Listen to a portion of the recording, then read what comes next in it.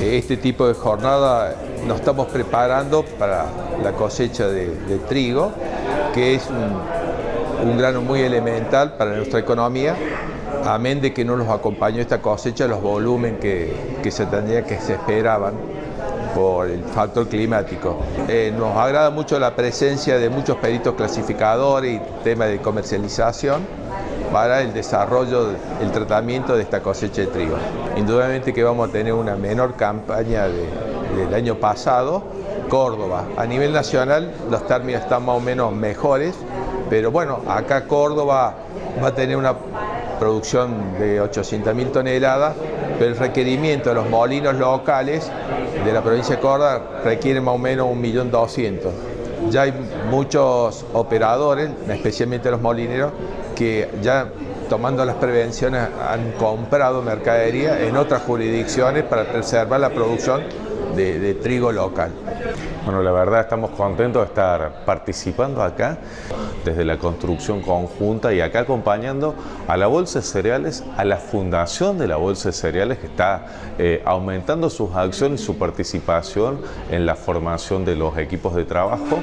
al grupo Camus y a GD, a ACA, a Senasa, que también estaba presente, decimos cómo podemos vincularnos para trabajar en esto que es la estrategia y mantener la calidad de nuestros productos. Qué tan importante es en todos los eslabones de la cadena poder ir manteniendo esa calidad que nace desde una muy buena semilla, una buena gestión en el campo y después la post cosecha para su posterior transformación. Creo que, este hecho y es una de las mejores buenas prácticas que tenemos, que es la formación de los equipos de trabajo para que tengan nuevos conocimientos, adquirir el funcionamiento de las nuevas tecnologías y las nuevas reglamentaciones, como por ejemplo salió en granos confinados de Senasa y adaptada por el Ministerio de Agricultura. Así que estamos muy contentos de estar acá participando eh, en este evento que estamos compartiendo conocimiento.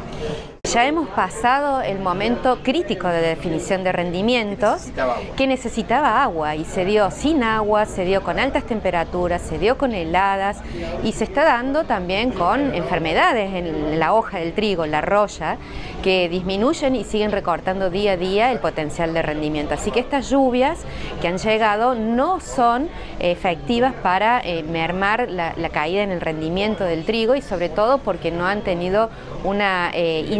adecuada, ¿no? Bueno, a nivel internacional hay una serie de variables que hay que tener en cuenta. Por un lado tenemos una tasa de interés en Estados Unidos que sigue en niveles elevados, está en el mayor nivel de los, de los últimos 22 años y se va a mantener. Y eso lo que genera es una, eh, un impacto negativo en el precio de los granos porque hace que muchos eh, de los fondos que invierten en estos mercados commodities se vayan a, por ejemplo, invertir en bonos del tesoro norteamericano y eso le quita presión a los precios de la commodities. Terminemos una economía china que no está creciendo como se esperaba, que es una de las principales demandantes de granos. Y por otro lado hay algo no menor en lo que está pasando ahora en el conflicto con eh, Israel, Hamas, que eh, lo que está haciendo es generar tensión en Medio Oriente respecto a uno de los principales commodities, que es el precio del petróleo, que está aumentando contra mano de los otros commodities agrícolas, producto de la escalada que puede llegar a tener este conflicto. Entonces, hoy el mundo está más fragmentado, hay distintos bloques económicos. Lo cierto es que en este mundo, hay que ver cómo se van estructurando las relaciones, quiénes son nuestros clientes y eso va impactando también no solamente, no solamente cómo se determinan los precios a nivel internacional, sino eh, los precios que podamos recibir por los productos que nosotros exportamos. Por eso también hay que ser muy estratégicos en las relaciones que tengamos eh, a futuro con los distintos países y en base a lo que nosotros comerciamos con el resto del mundo.